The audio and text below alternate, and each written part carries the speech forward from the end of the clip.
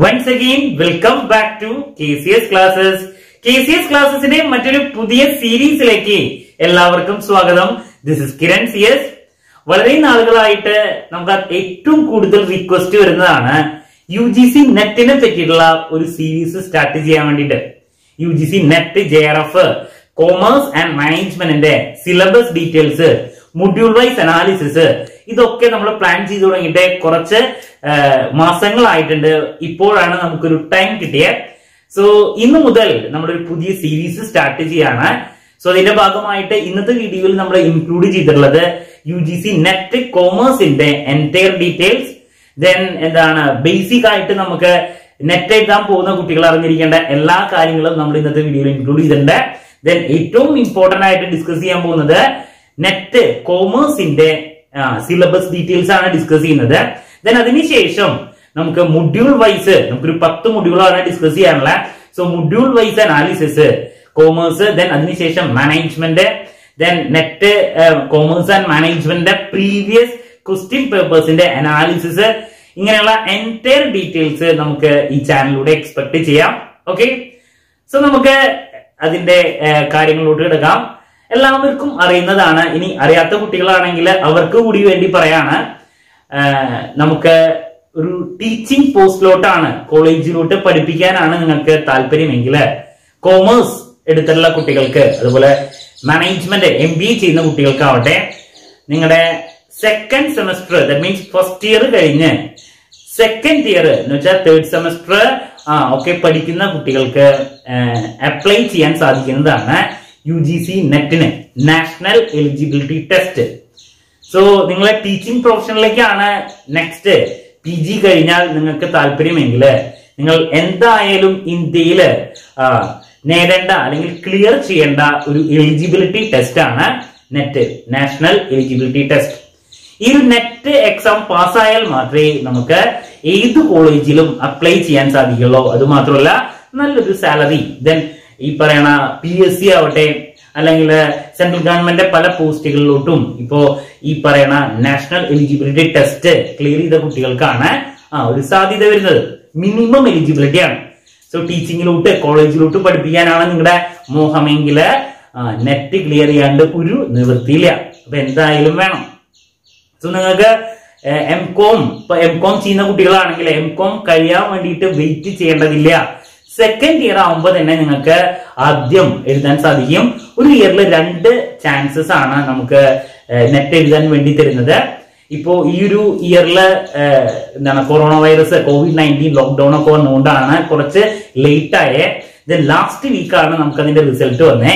ഇപ്പോ ഓൺലൈൻ ആയിട്ടാണ് എക്സാം നടക്കുന്നത്. ഒബ്ജക്റ്റീവ് ആണ് എക്സാം പാറ്റേൺ എന്ന് പറയുന്നത്. ഓക്കെ സോ ഏറ്റവും ബെസ്റ്റ് ടിപ്പ് എന്ന് പറഞ്ഞാൽ നിങ്ങൾ എം കോം ഇപ്പൊ പഠിച്ചുകൊണ്ടിരിക്കുന്ന ഒരു കുട്ടിയാണെങ്കിൽ സ്റ്റുഡന്റ് ആണെങ്കിൽ നിങ്ങൾ സെക്കൻഡ് ഇയർ ആണ് പഠിക്കണമെങ്കിൽ ഇപ്പോ തന്നെ നിങ്ങൾ എഴുതാൻ പോവാ. ബിക്കോസ് എത്രത്തോളം ടച്ച് ഉണ്ട് നിങ്ങളുടെ സിലബസും ആയിട്ട് അല്ലെങ്കിൽ സബ്ജക്റ്റ് ആയിട്ട് അത്രത്തോളം നിങ്ങൾക്ക് നല്ലതാണ്. എം കോം കഴിയാൻ വേണ്ടിയിട്ട് ഒരു കുട്ടി പോലും വെയിറ്റ് ചെയ്യേണ്ടതില്ല. ഓക്കെ അപ്പോ സെക്കൻഡ് ഇയർ പഠിക്കുന്ന സമയത്ത് തന്നെ നമുക്ക് നെറ്റ് അപ്ലൈ ചെയ്യാം. ദെൻ എം കോം കഴിഞ്ഞ് പാസ് ആവണം എന്ന് മാത്രം. എന്നാൽ മാത്രമേ അതിനൊരു വാലിഡിറ്റി ഉണ്ടാവുള്ളൂ. അതാണ് ഒരു കാര്യം. അപ്പോ എം കോം ഫൈനൽ ഇയർ ചെയ്യുന്ന കുട്ടികൾക്ക് നെറ്റ് അപ്ലൈ ചെയ്യാം. അടുത്ത വരുന്ന ജൂൺ എക്സാമിന് നെറ്റ് എഴുതാം. എല്ലാ ഇയറിലും രണ്ട് ചാൻസസ് സാധാരണ ജൂൺ ഡിസംബറിലാണ് നമുക്ക് നെറ്റ് വരാം. അപ്പോ എന്താണ് ഓൾ ഇന്ത്യ നടക്കുന്ന ഒരു എക്സാം ആണ് ഈ നാഷണൽ എലിജിബിലിറ്റി ടെസ്റ്റ് എന്ന് പറയുന്നത്. ദെൻ എന്താണ് ക്ലിയർ ചെയ്യുകയാണെങ്കിൽ ഞാൻ പറഞ്ഞു അത്രത്തോളം സാധ്യതകളുള്ള ഒരു എന്താണ് കോമ്പറ്റീറ്റീവ് എക്സാം ആണ്. ഓക്കെ ദെൻ നിങ്ങൾ എപ്പോഴും കേൾക്കുന്ന ഒരു കാര്യമാണ് നെറ്റ് ജെ ആർ എഫ് എന്താണ് സംഭവം? അപ്പൊ ഇവിടെ നെറ്റിന്റെ എക്സാമിനോട്ട് എക്സാം എഴുതുന്ന സമയത്ത് ഓൺലൈൻ ആണ് ദെൻ എന്താണ് ഒബ്ജക്റ്റീവ് ആണെന്ന് പറഞ്ഞു. അവിടെ നമുക്ക് രണ്ട് സാധ്യതകൾ തരുന്നുണ്ട്. നമ്പർ വൺ ജസ്റ്റ് പാസ് ആയിട്ട് കാര്യമില്ല. ഒരു നൂറ് പേരെ എഴുതുന്നുണ്ടെങ്കിൽ നൂറ് പേരല്ല എക്സാമ്പിൾ പറയാണ്. നൂറ് പേര് എഴുതുന്നുണ്ടെങ്കിൽ അതിൽ ഏറ്റവും ടോപ്പ് മോസ്റ്റ് മാർക്കുള്ള ആൾക്കാർക്കാണ് ഈ പറയുന്ന നെറ്റ് അവോർഡ് ചെയ്യുക. അതിലെ ഏറ്റവും ഹയസ്റ്റ് മാർക്ക് കിട്ടുന്ന ഒരു സെർട്ടൺ പെർസെന്റേജ് ആ വ്യക്തികൾക്ക് കൊടുക്കുന്നതാണ് J R F junior research fellowship so നിങ്ങൾക്ക് ഹൈ മാർക്സിലോട്ട് ആ കയറാൻ സാധിക്കുമെങ്കിൽ നിങ്ങൾക്ക് ജെ ആർ എഫ് കിട്ടും. സോ ജെ ആർ എഫ് കിട്ടിയിട്ടുണ്ടെങ്കിൽ ഉണ്ടാവുന്ന ബെനഫിറ്റ് എന്ന് പറഞ്ഞാൽ നിങ്ങൾക്ക് നെക്സ്റ്റ് റിസർച്ച് ചെയ്യാൻ കോമേഴ്സിൽ റിസർച്ച് ചെയ്യാൻ ഉള്ള ഫെലോഷിപ്പ് വിത്ത് ഫെലോഷിപ്പ് നമുക്ക് സെൻട്രൽ ഗവൺമെന്റിന്റെ ഭാഗത്ത് നിന്ന് കിട്ടുന്നതാണ്. സോ ഏറ്റവും നിങ്ങൾക്ക് പഠിക്കാൻ അത്രത്തോളം എന്താണ് ഫോക്കസ്ഡ് ആയിട്ടുള്ള കുട്ടികൾക്ക് ഏറ്റവും യൂസ് ചെയ്യാൻ പറ്റുന്ന ഒരു എന്താണ് ഈ എന്താണ് കോമ്പറ്റീറ്റീവ് എക്സാം ആണ് നെറ്റ് എന്ന് പറയുന്നത്. എം കോം സെക്കൻഡ് ഇയർ പഠിക്കുകയാണെങ്കിൽ നിങ്ങൾ അതിന് വേണ്ടിയിട്ട് പ്രിപ്പയർ ചെയ്യുക. ദെൻ എം കോം ക്ലിയർ ചെയ്യുന്നതിന്റെ കൂടെ തന്നെ നിങ്ങൾ ജെ ആർ എഫ് നേടാം സോ അങ്ങനെയാണെങ്കിൽ നിങ്ങൾക്ക് എം കോം കഴിഞ്ഞ് നേരെ തന്നെ എന്ത് ചെയ്യാൻ പറ്റും? പി എച്ച് ഡിക്ക് പോകാൻ പറ്റും. വിത്ത് ഫെലോഷിപ്പ് നിങ്ങൾക്ക് പഠിക്കാൻ സാധിക്കുന്നതാണ്. അപാര സാധ്യതയാണ് അവിടെ. സോ എം കോം പഠിച്ചു കഴിഞ്ഞ് മന്ത്ലി മിനിമം എന്തായാലും ട്വന്റി ഫൈവ് തൗസൻഡ് നമുക്ക് ഫെലോഷിപ്പ് കിട്ടും. ഒരു അഞ്ചു കൊല്ലം വരെ അങ്ങനെ ഫെലോഷിപ്പ് കിട്ടുന്നതാണ് അതൊരു രണ്ട് കൊല്ലമൊക്കെ കഴിഞ്ഞാൽ നിങ്ങൾ ജൂനിയർ റിസർച്ച് ഫെലോഷിപ്പിൽ നിന്നും സീനിയർ റിസർച്ച് ഫെല്ലോ ആയിട്ട് മാറും. സോ നിങ്ങൾക്ക് കിട്ടുന്ന ഫെലോഷിപ്പിന്റെ എമൗണ്ട് കൂടുതലായിരിക്കും. ഒന്ന് ചിന്തിച്ചു നോക്കൂ.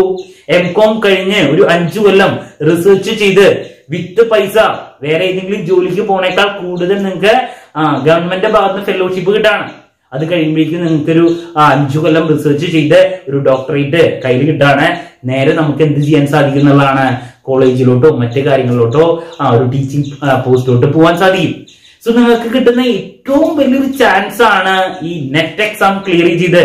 അതിൽ നമ്പർ വൺ ഏറ്റവും ഫസ്റ്റ് പൊസിഷനിലോട്ട് ആദ്യത്തെ ഈ കാറ്റഗറി സ്റ്റുഡൻസിലോട്ട് വരാണെങ്കിൽ നിങ്ങൾക്ക് ജെ എഫ് നേടാൻ സാധിക്കുകയാണെങ്കിൽ ലൈഫിൽ വലിയൊരു ടേണിംഗ് പോയിന്റ് ആയിരിക്കും അത്. സോ പഠിക്കുന്ന കുട്ടികളെ ഏറ്റവും നിങ്ങളുടെ സാധ്യതയാണ് ഈ ഒരു കാര്യം എന്ന് പറയുന്നത്. ബിക്കോസ് അത്രത്തോളം ഫ്രീഡത്തിലൂടെ നമുക്ക് ചെയ്യാൻ പറ്റുന്നതാണ് ഈ റിസർച്ച് ഈ ഒരു കാലഘട്ടം. അത് നിങ്ങൾ മാക്സിമം യൂട്ടിലൈസ് ചെയ്യുക ഓക്കെ ദെൻ ജാർഫ് കിട്ടിയിട്ടില്ലെങ്കിൽ പിന്നെ കൊടുക്കുന്നതാണ് നെറ്റ് അവാർഡ് കൊടുക്കുകയാണ്. അപ്പൊ നെറ്റ് കിട്ടുകയാണെങ്കിൽ നേരത്തെ പറഞ്ഞ പോലെ ഒരു എലിജിബിലിറ്റി ടെസ്റ്റ് നമ്മൾ ക്ലിയർ ചെയ്തു.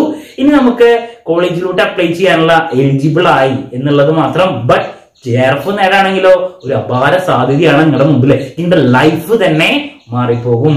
ഓക്കെ സോ നിങ്ങൾ പ്രിപ്പയർ ചെയ്യുമ്പോൾ അത്രത്തോളം ഇമ്പോർട്ടൻസ് അതിന് കൊടുക്കുക. ജസ്റ്റ് നെറ്റിന് വേണ്ടി മാത്രം പ്രിപ്പയർ ചെയ്യരുത്. ജെ ആർ എഫിന് വേണ്ടി പ്രിപ്പയർ ചെയ്യാം. ഓക്കെ ദെൻ പിന്നെ ജെ ആർ എഫിന് ഏജ് ലിമിറ്റ് ഉണ്ട്. ഇപ്പൊ തേർട്ടി ഇയേഴ്സ് ആണ്. കമ്മ്യൂണിറ്റിയുടെ ബേസിൽ നിങ്ങൾക്ക് അഡീഷണൽ എന്താണ്? എന്താ? ഇപ്പോ ഒ ബി സി ആണെങ്കിൽ എസ് സി ആണെങ്കിൽ അങ്ങനെ ഓരോ കാറ്റഗറി അനുസരിച്ച് നമുക്ക് അഡീഷണൽ ഒരു ടൈം പീരീഡ് തരുന്നതാണ് ഐ തിങ്ക് ഇപ്പൊ മുപ്പത് വയസ്സാണ്. മാക്സിമം ടൈം ലിമിറ്റ് ഈ പറയണ ജെ ആർ എഫിന് നെറ്റിന് ടൈം ലിമിറ്റ് ഇല്ല ഏജ് ലിമിറ്റ് ഇല്ല. ടൈം ലിമിറ്റ് ഉള്ള ഏജ് ലിമിറ്റ് ഇല്ല. എത്ര വയസ്സുള്ള ഒരു വ്യക്തിക്കും നെറ്റ് എഴുതി ക്ലിയർ ചെയ്യാൻ സാധിക്കുന്നതാണ് okay so that's about basic എന്താണ് നിങ്ങൾക്ക് അറിയേണ്ട ഒരു ഡീറ്റെയിൽ ആണ് പറഞ്ഞ. നെറ്റിനെ പറ്റിയിട്ടും ജെ ആർ എഫിനെ പറ്റിയിട്ടും. ദെൻ ജെ ആർ എഫ് കിട്ടിയിട്ടുണ്ടെങ്കിൽ ഞാൻ പറഞ്ഞു നിങ്ങളുടെ ലൈഫ് തന്നെ മാറാൻ സാധ്യതയുള്ള ഒരു കാര്യമാണ്. ഓക്കെ ഇനി നമുക്ക് നെക്സ്റ്റ് ഇതിന്റെ എക്സാമിനേഷൻ പാറ്റേണിലോട്ട് പോവാം. അപ്പോ നെറ്റ് എക്സാമിന്റെ പാറ്റേൺ എന്ന് പറയുന്നത് ഓൺലൈൻ ആണെന്ന് പറഞ്ഞു. നമ്പർ വൺ നമ്പർ ടു ഇത് ഒബ്ജക്റ്റീവ് ആണ്. അപ്പൊ നമ്മൾ വിചാരിക്കും ഒബ്ജക്റ്റീവ് ആണ്. കറക്കി കുത്തിയെ ജയിക്കുമോ ഒരു കാരണവശാലും ഇല്ല. കറക്കി കുത്തി പാസ്സാവാൻ പറ്റുന്നതല്ല. ബട്ട് ഒരു പരിധി വരെയൊക്കെ അവിടെ ലക്കിന്റെ എലമെന്റ് ഉണ്ട്. ഇല്ല എന്ന് ഞാൻ പറയുന്നില്ല. ബട്ട് അങ്ങനെയൊന്നും പാസ്സാവാൻ സാധിക്കില്ല. അപ്പോ നമുക്ക് മെയിൻ ആയിട്ട് രണ്ട് പേപ്പർ ആണ് നെറ്റ് എക്സാമിന് വരുന്നത്. Number one general paper number two subject so general paper എന്ന് പറയുമ്പോൾ എല്ലാ സബ്ജക്ട് എഴുതുന്ന വ്യക്തികൾക്കും എല്ലാ കുട്ടി കാൻഡിഡേറ്റ്സിനും ഒരേ പേപ്പർ ആയിരിക്കും. സോ അവിടെ ടീച്ചിങ് ആപ്റ്റിറ്റ്യൂഡ് നമ്മുടെ കോംപ്രിഹെൻഷൻ നമ്മുടെ എന്താണ് ആപ്റ്റിറ്റ്യൂഡ് കാര്യങ്ങളൊക്കെ ആയിരിക്കും. അല്ലെങ്കിൽ ഇംഗ്ലീഷ് നോളജിനെ റിലേറ്റ് ചെയ്തുള്ള ചില കാര്യങ്ങൾ techniques especially teaching aptitude test ചെയ്യലാണ് ഏറ്റവും കൂടുതൽ അവിടെ നോക്കുന്നത്. കോമൺ ആയിട്ട് നമ്മുടെ കുറച്ച് നോളജ് അതിന്റെ സിലബസ് ഡീറ്റെയിൽസ് ഉണ്ട്. അത് ഞാൻ വേറൊരു വീഡിയോയിൽ ഇൻക്ലൂഡ് ചെയ്യാം.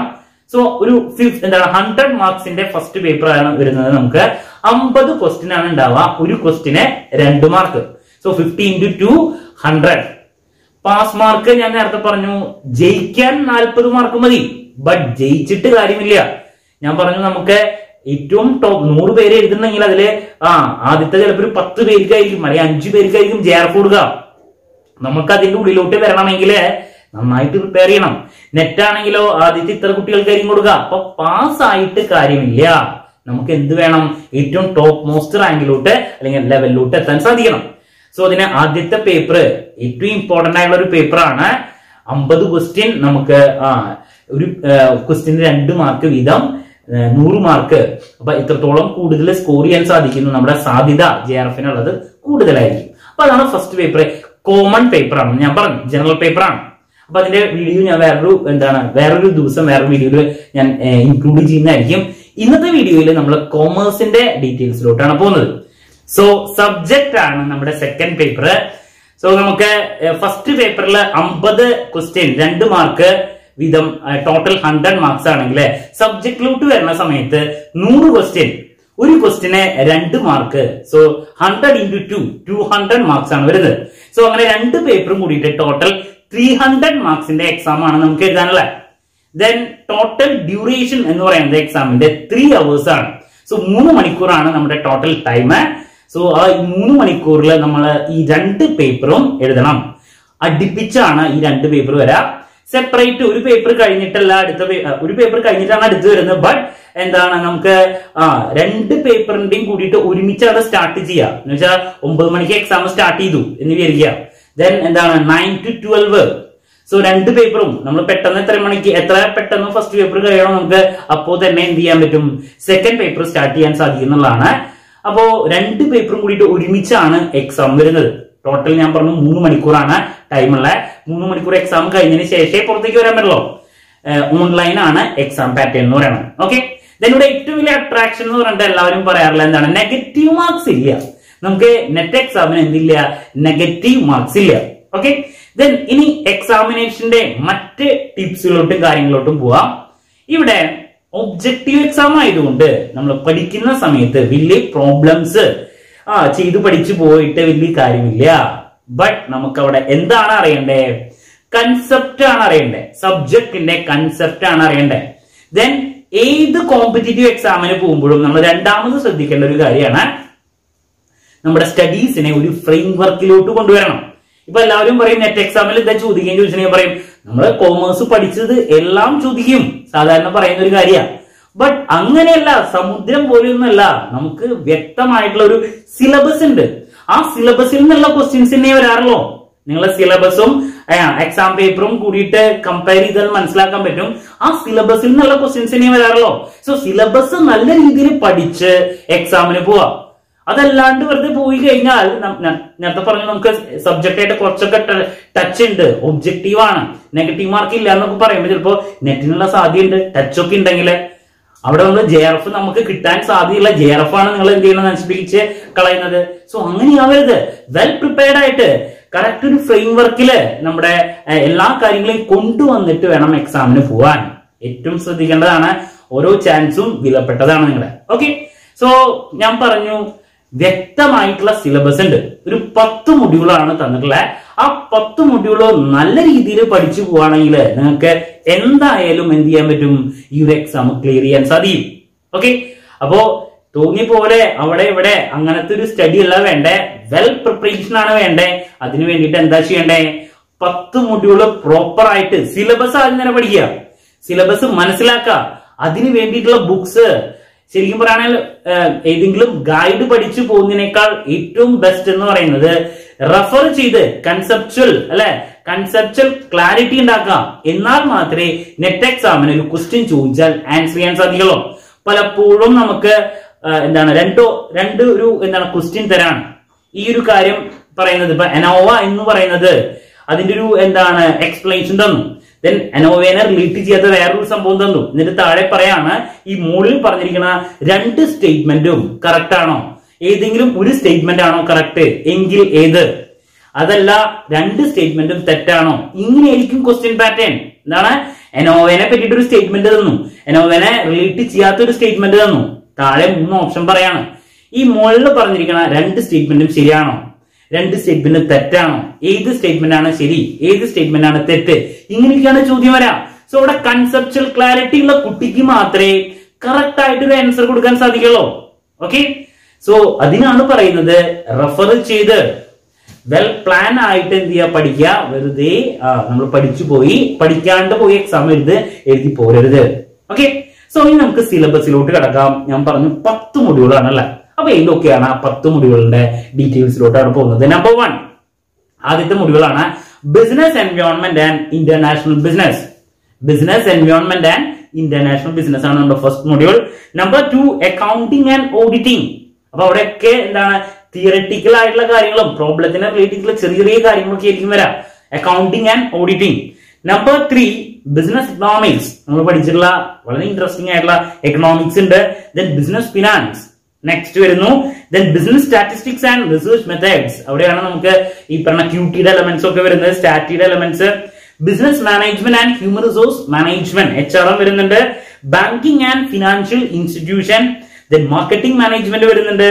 Then legal aspect of business law പഠിച്ചിട്ടുണ്ട് അത് വരുന്നുണ്ട്. Last income tax and corporate tax planning ഇത്രയാണ് നമ്മുടെ പത്ത് മൊഡ്യൂളിന്റെ ഡീറ്റെയിൽസ് അപ്പൊ നമുക്ക് ആ പത്ത് മൊഡ്യൂളിനെ എന്തൊക്കെയാണ് പഠിക്കേണ്ടത്? ആ മൊഡ്യൂളിന്റെ പ്രത്യേകതകൾ എന്തൊക്കെയാണെന്നുള്ളത് നമുക്ക് നോക്കാം. ഒരു മൊഡ്യൂളിൽ പഠിക്കുമ്പോൾ ശ്രദ്ധിക്കേണ്ട കാര്യങ്ങളും നമുക്ക് നോക്കാം. Okay so moving to number one first module എന്ന് പറയുന്നത് business environment and international business ആണ്. നമുക്ക് ആ ഫസ്റ്റ് മൊഡ്യൂൾ കേൾക്കുമ്പോൾ തന്നെ അറിയാം. വളരെ ലെങ്തി ആയിട്ട് നമ്മൾ പഠിച്ചിട്ടുള്ള ഒരു മൊഡ്യൂളാണ് ഈ പറയുന്ന business environment and international business എന്ന് പറയുന്നത്. അപ്പോ നിങ്ങൾ അങ്ങനെ പഠിച്ചിട്ടുള്ളതായിരിക്കും ബട്ട് നെറ്റ് എക്സാമിന് പോകുമ്പോൾ ഞാൻ പറഞ്ഞു കൺസെപ്റ്റൽ ക്ലാരിറ്റി ഇതിനൊരു ഫ്രെയിം വർക്കിലോട്ട് മാറണം. സോ അതിനെന്താണ് വേണ്ടേ? സിലബസിന്റെ ഡീറ്റെയിൽസിലോട്ട് പോവാം. ആ സിലബസിൽ വരുന്ന രീതിയിൽ തന്നെ നിങ്ങൾ നോട്ട് ഉണ്ടാക്കുക ദെൻ അതിന് റിലേറ്റ് ചെയ്തിട്ടുള്ള കാര്യങ്ങൾ തന്നെ എന്ത് ചെയ്യുക? ബുക്സ് മേടിക്കുക പ്രിപ്പയർ ചെയ്യുക അങ്ങനെ പഠിക്കുക. ഇനി ഈ പറഞ്ഞ പോലെ ഓരോ മൊഡ്യൂളിലും ഏതൊക്കെ ബുക്സ് ആണ് ബെറ്റർ റെഫറൻസ് ബുക്ക് ഏതൊക്കെ വേണ്ടെന്നുള്ളത് ഞാൻ മറ്റൊരു വീഡിയോയിൽ മൊഡ്യൂൾ വൈസ് ആയിട്ടുള്ള ബുക്ക് റെഫറൻസസ് ഏതൊക്കെ വേണം എന്നുള്ളത് എന്റെ സജഷൻ വേറൊരു വീഡിയോയിൽ ഞാൻ ഇൻക്ലൂഡ് ചെയ്യുന്നതായിരിക്കും. ഇപ്പൊ ഈ പത്ത് മൊഡ്യൂളിന്റെ പ്രത്യേകതകളൊക്കെ നമുക്ക് നോക്കി പോവാം. സോ അതിലാദ്യം ബിസിനസ് എൻവയോൺമെന്റിലോട്ട് വരുന്ന സമയത്ത് ആദ്യം എന്താണ് നമുക്കറിയുന്ന ബിസിനസ് എൻവയോൺമെന്റ് അതിലെ ഇക്കണോമിക് എൻവയോൺമെന്റ് ദെൻ എന്താണ് economic policies fiscal policy monetary policy ഇതിനൊക്കെ എല്ലാ പ്രാവശ്യം questions വരാറുള്ളതാണ്. Then political environment role of FEMA C S R ഏറ്റവും ഇമ്പോർട്ടന്റ് ആയിട്ട് ഇപ്പോൾ എല്ലാ പ്രാവശ്യം ചോദിക്കുന്നതാണ് കോർപ്പറേറ്റ് സോഷ്യൽ റെസ്പോൺസിബിലിറ്റിനെ റിലേറ്റ് ചെയ്തുള്ള കാര്യങ്ങൾ. Legal environment consumer protection act നിങ്ങൾ ക്വസ്റ്റ്യൻ പേപ്പേഴ്സ് ഞാൻ എന്തെങ്കിലും പാസ്റ്റ് ക്വസ്റ്റ്യൻ പേപ്പേഴ്സിന്റെ അനാലിസിസ് എന്റെ ചാനലിൽ ഇടുന്നതായിരിക്കും. സോ അവിടെയൊക്കെ നിങ്ങൾക്ക് കിട്ടും. Then scope and importance of international business പിന്നെ എൻവയോൺമെന്റിൽ അപ്പോൾ ഈ ഒരു കാര്യങ്ങളൊക്കെയാണ് പറയുന്നത് ദെൻ സ്കോപ്പ് ആൻഡ് എന്താണ് importance of international business globalisation modes of entry in international business basics ആയിട്ട് അറിയണത് തീരീസ് ഓഫ് ഇന്റർനാഷണൽ ട്രേഡ് പിന്നെ tariff barriers non tariff barriers F D I F D ഐയുടെ policies balance of payment the regional economic integration then ASEAN SAARC NAFTA then എന്താണ് I M F world bank W T O GATT TRIPS TRIMS എന്ന് വെച്ചിട്ടുണ്ടെങ്കിൽ environment and ബിസിനസിനെ relate ചെയ്തുള്ള കാര്യങ്ങളാണ്. ഈ syllabus correct ആയിട്ട് മനസ്സിലാക്കി അതിനെ റിലേറ്റ് ചെയ്തിട്ടുള്ള പ്രിപ്പറേഷൻ മാത്രം നിങ്ങൾ ചെയ്യാം. ഓക്കെ അപ്പൊ ഓരോ കാര്യങ്ങൾ ചോദിച്ചാൽ അതിന് ആക്ച്വലി വേണ്ട മോക്ക് ടെസ്റ്റ് ആണ്. പഠിച്ചതിന് ശേഷം മാത്രം മോക്ക് ടെസ്റ്റ് ചെയ്യാം. അപ്പൊ ഇതാണ് നമ്മുടെ first module number two accounting and auditing രണ്ടും കൂടിയിട്ടാണ് തന്നിട്ടുള്ളത്. സോ അവിടെ നമുക്ക് കവർ ചെയ്യാനുള്ള ഏരിയാസ് എന്ന് പറയുന്നത് പ്രിൻസിപ്പിൾസ് ദെൻ കൺസെപ്റ്റ് ദെൻ എന്താണ് കൺസെപ്റ്റ് കാര്യങ്ങളൊക്കെയാണ്. ബേസിക് ആയിട്ട് അറിയണ കാര്യങ്ങൾ എല്ലാ ക്വസ്റ്റ്യൻ പേപ്പറിലും ഒന്നോ രണ്ടോ ക്വസ്റ്റ്യൻസ് എപ്പോഴും ചോദിക്കാറുണ്ട് related with ward basic accounting പോളിസീസിനെ പറ്റിയിട്ട്. ദെൻ പാർട്ണർഷിപ്പ് അക്കൗണ്ട് ചോദിക്കാറുണ്ട്. എല്ലാ പ്രാവശ്യം ഒന്നോ രണ്ടോ ക്വസ്റ്റ്യൻ എന്തായാലും ചോദിക്കാറുള്ളതാണ്. അതിനുശേഷം corporate അക്കൗണ്ടിങ്ങിൽ share issue debenture liquidation then merger ഇതിലൊക്കെ വലിയ വലിയ പ്രോബ്ലംസ് എന്നല്ല ചോദിക്കാറ്.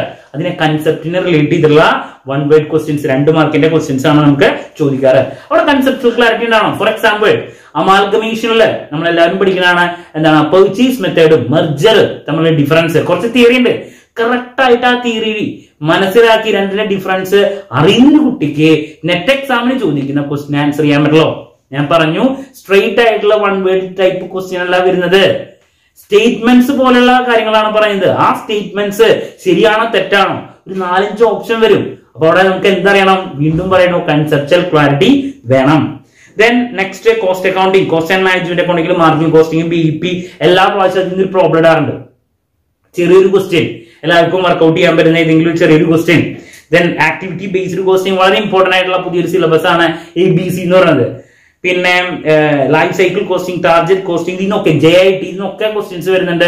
വൺ വേർഡ് ക്വസ്റ്റ്യൻസ് ദെൻ എന്താണ് ratio analysis fund flow cash flow ഇതിലെപ്പോഴും ratio അനാലിസിസിന് ഏതെങ്കിലും ഒരു റേഷ്യോനെ റിലേറ്റ് ചെയ്തിട്ടുള്ള തിയറിയോ അല്ലെങ്കിൽ പ്രോബ്ലോ ഇടാറുണ്ട്. ദെൻ അതിനുശേഷം inflation എൻവയോൺമെന്റൽ accounting I F R S വല്ല തിയറി റിലേറ്റ് ചെയ്തിട്ടുള്ള കാര്യങ്ങളാണ് ഐ എഫ് ആർ എസ് എന്ന് വരാറ്.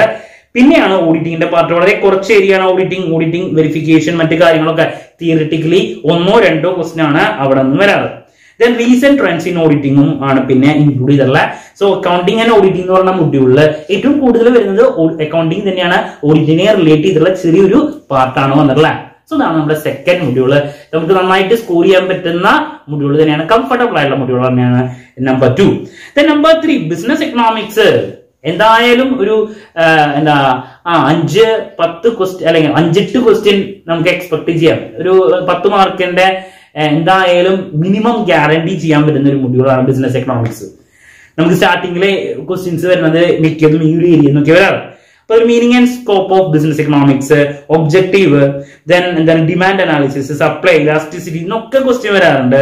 Consumer behaviour law of variable proportion എപ്പോഴും വരുന്ന ഒരു ഏരിയ ആണ് law of variable proportion then theoretical cost price determination price determination monopoly oligopoly ഇങ്ങനെയുള്ള ഏരിയ ഡ്യുവോപ്പൊളി ഇതിനൊക്കെ എല്ലാ പ്രാവശ്യം questions വരാറുള്ളതാണ്. Okay then next pricing strategy repeated ആണ്. സ്കിമ്മിങ് പെനട്രേഷൻ ഇങ്ങനെയുള്ള സ്ട്രാറ്റജീസ് എല്ലാ ക്വസ്റ്റ്യൻ പേപ്പറിലും വരാറുള്ളതാണ്. നല്ല രീതിയിൽ പഠിച്ചാൽ അടുത്ത ജൂൺ എക്സാമിന് നല്ല രീതിയിൽ സ്കോർ ചെയ്യാൻ പറ്റും. അപ്പോൾ ബിസിനസ് ഇക്കണോമിക്സ് പറഞ്ഞു. നെക്സ്റ്റ് ബിസിനസ് ഫിനാൻസ് ആണ് അടുത്തത്. അവിടെ ലീസിംഗ് എന്താണ്? Then time value of money cost of capital financial മാനേജ്മെന്റിൽ വരുന്ന കാര്യങ്ങളൊക്കെയാണ് ക്യാപിറ്റൽ സ്ട്രക്ചർ എല്ലാ പ്രാവശ്യം ലിവറേജ് ചോദിക്കാറുണ്ട്. ലിവറേജ് ഏരിയ അതുപോലെ തന്നെ കോസ്റ്റ് ഓഫ് ക്യാപിറ്റൽ ഏരിയ ഇതൊക്കെ റിപ്പീറ്റ് ആണ്. ദെൻ എന്താണ് ഐ ആർ ആർ ഇങ്ങനത്തെ ടെക്നിക്സ് ക്യാപിറ്റൽ ബജറ്റിംഗ് ടെക്നിക്സിലെ ഏതെങ്കിലും ഒരു ടെക്നിക്സിനെ റിലേറ്റ് ചെയ്തിട്ടുള്ള എന്താണ് ക്വസ്റ്റ്യൻ റിപ്പീറ്റഡ് ആയിട്ടുള്ള ക്വസ്റ്റ്യൻ ആണ്. ഞാൻ എല്ലാ ക്വസ്റ്റ്യൻ പേപ്പറിന്റെയും ഒരു അനാലിസിസ് ചെയ്യണമെന്നാണ് പറയുന്നത്. ഓരോ കാര്യങ്ങൾ കാണുമ്പോൾ എനിക്ക് പറയാൻ തോന്നുന്നത്. ദെൻ അങ്ങനെ risk and return international monetary എന്താണ് സിസ്റ്റം ദെൻ അതിനുശേഷം ഇന്റർനാഷണൽ ഫിനാൻസിന്റെ പോർഷൻസ് ആണ് ലാസ്റ്റ് ഉള്ളത്. ബിസിനസ് ഫിനാൻസിലെ ലാസ്റ്റ് ഇന്റർനാഷണൽ ഫിനാൻസിന്റെ ഏരിയാസിന്റെ പുതിയതായിട്ടുള്ള ഒരു ഏരിയ ആണ്. രണ്ടായിരത്തി പതിനെട്ട് മുതലാണ് ഈ ഒരു സിലബസ് വന്നിട്ടുള്ളത് സോ ഇന്റർനാഷണൽ ഫിനാൻസ് ഇൻക്ലൂഡ് ചെയ്തിട്ടുണ്ട് നമുക്ക് അതിൽ നിന്നും എക്സ്പെക്ട് ചെയ്യാം. G D R A D R ഇതൊക്കെ ആണ് ആ ഒരു ഏരിയ കഴിഞ്ഞ പേപ്പറിൽ ഉണ്ടായിരുന്നു ജി ഡി ആറിനും എ ഡി ആറിനും റിലേറ്റ് ചെയ്തിട്ടുള്ള questions so that's about business finance and after that business statistics and research methods ഏറ്റവും കൂടുതൽ നമുക്ക് എക്സ്പെക്ട് ചെയ്യാൻ പറ്റുന്ന വേറൊരു ഏരിയ ആണ് ഈ പറയുന്നത്. അവിടെ പ്രോബ്ലം ഒന്നും പഠിച്ചു പോയിട്ട് കാര്യമില്ല. ഫുള്ള് തിയറിയാണ് എല്ലാത്തിലും തിയറിറ്റിക്കൽ ആയിട്ടുള്ള central tendency then dispersion dispersion regression correlation ഇതിനൊക്കെ എന്താണ് തിയറിറ്റിക്കൽ ആയിട്ടുള്ള കാര്യങ്ങൾ maybe we can expect ഏതെങ്കിലും ഒരു പ്രോബ്ലം ദെൻ അതിനുശേഷം റിസർച്ച് ഇതിലേക്ക് വരുന്ന സമയത്ത് റിസർച്ചിന്റെ ഏരിയയിലോട്ട് വരുമ്പോൾ പ്രോബിലിറ്റി ക്യൂട്ടിയുടെ ബയാസ് തിയറം ഡിസ്ട്രിബ്യൂഷൻ റിലേറ്റഡ് ഒരു ക്വസ്റ്റൻ എപ്പോഴും വരാറുണ്ട്. ബൈനോമിയൽ ഡിസ്ട്രിബ്യൂഷൻ പോയിസോൺ നോർമൽ എപ്പോഴും വരാറുള്ളതാണ്.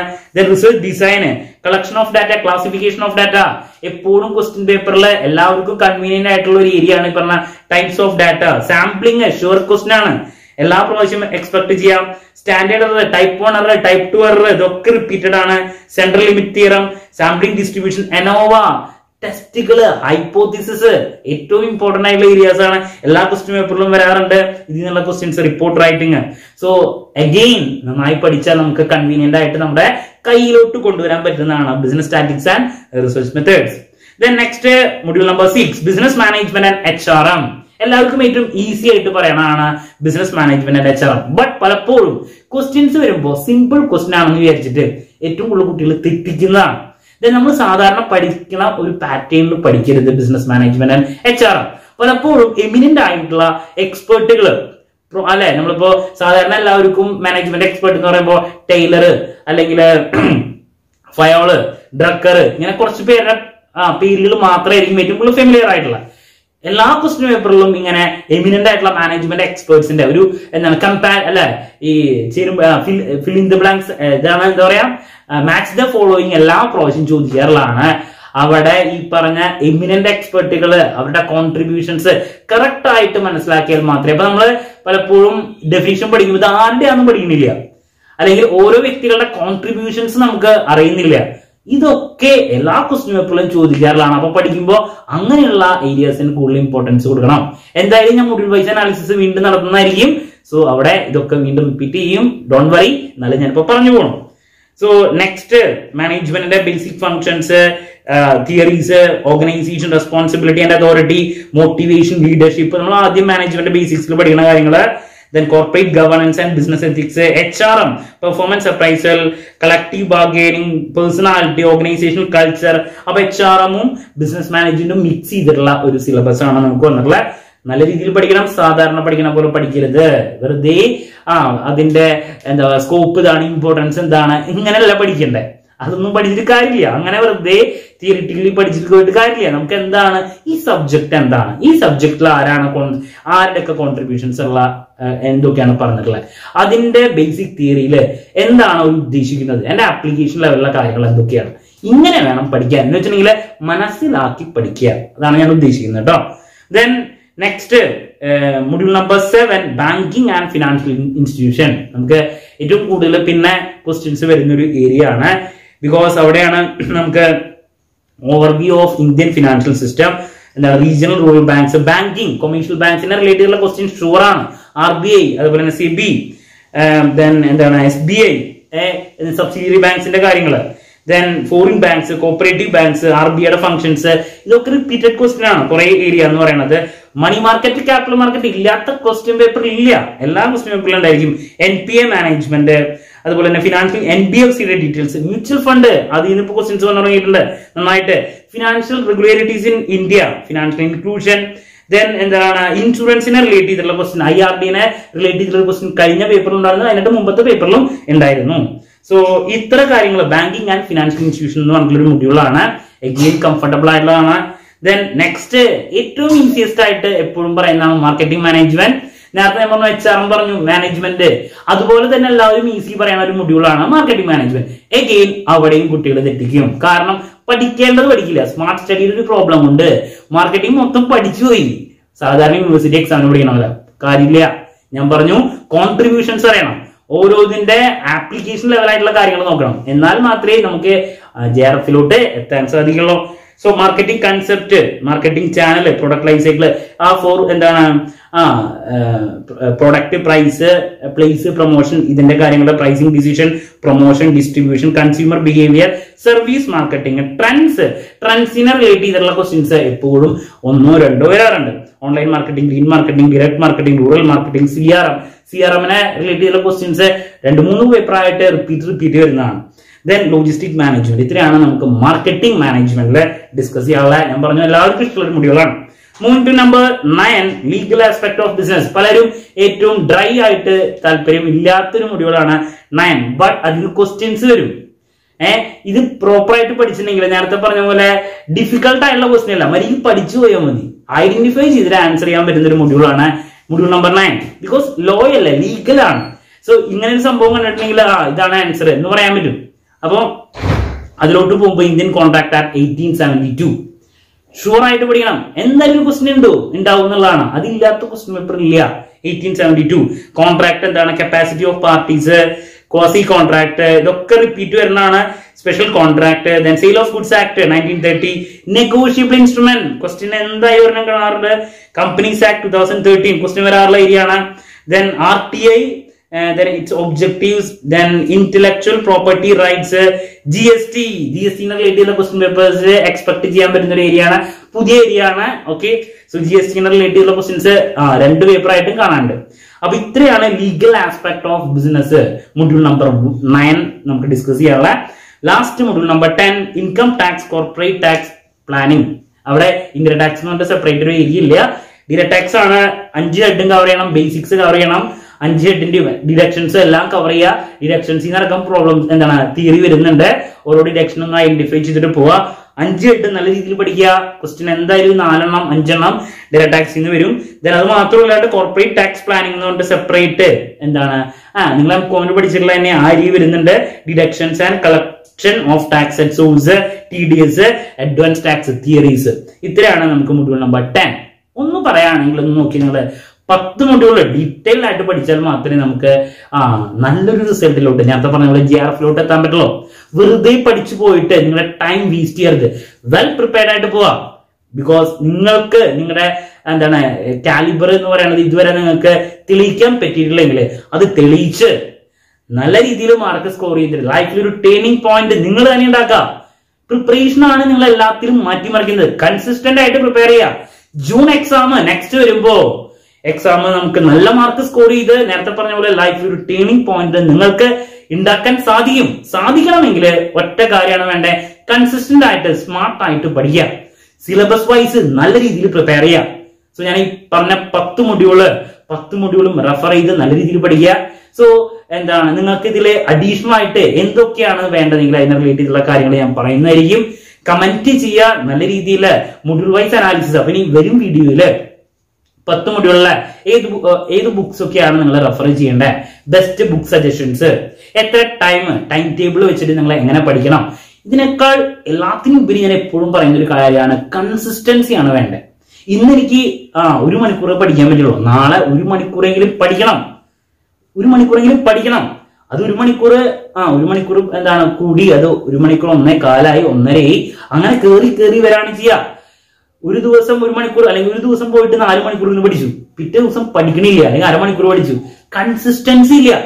കുറച്ച് സമയമാണ് പഠിക്കണമെങ്കിലും അത് എന്ത് ചെയ്യുക? ക്വാളിറ്റി ടൈം പഠിക്കുക. സ്മാർട്ട് ആയിട്ട് പഠിക്കുക എന്നുള്ളതാണ്. ഓക്കെ അതും വാരി വലിച്ച് പഠിച്ചിട്ട് കാര്യമില്ല. ഒബ്ജക്റ്റീവ് ടൈപ്പാണ് കൺസെപ്ച്വലൈസ് ചെയ്തിട്ട് പഠിക്കണം അപ്പോ ഞാൻ നമ്മുടെ സീരീസിൽ ആദ്യത്തെ സീരീസ് ആയിട്ടുള്ള യു ജി സി നെറ്റിന്റെ ഡീറ്റെയിൽസ് എക്സാമിനേഷൻ പാറ്റേൺ ദെൻ പത്ത് മുടികളുടെ ഡീറ്റെയിൽ അനാലിസിസ് ഒക്കെയാണ് ഞാനിപ്പോ ഡിസ്കസ് ചെയ്തത് ഇനി നമ്പർ വൺ നമുക്ക് പേപ്പർ നമ്പർ വണ്ണിനെ പറ്റിയിട്ട് പറയാനുണ്ട്. ഇത് നിങ്ങൾക്കുള്ള എല്ലാ സംശയങ്ങൾക്കും ഞാൻ മറുപടി തരുന്നതായിരിക്കും. അതിനുശേഷം നമ്മൾ മൊഡ്യൂൾ വൈസ് അനാലിസിസ് പത്ത് മൊഡ്യൂളിന്റെ ഡീറ്റെയിൽസിലോട്ടും പോകുന്നതായിരിക്കും. ദെൻ മൊഡ്യൂൾ വൈസ് എന്താണ്? ക്ലാസ്സസും നമുക്ക് ഈ ഈ ചാനലിലൂടെ എക്സ്പെക്ട് ചെയ്യാം. എല്ലാവർക്കും ക്ലാരിറ്റി കിട്ടിയിരിക്കുന്നു എന്ത് കാര്യമുണ്ടെങ്കിലും കമന്റ് ചെയ്യുക. സോ മറ്റൊരു വീഡിയോയുമായി വീണ്ടും കാണാമെന്നുള്ള പ്രതീക്ഷയോടെ നിർത്തുന്നു. This is Kiran CS signing off. Have a nice day. Thank you.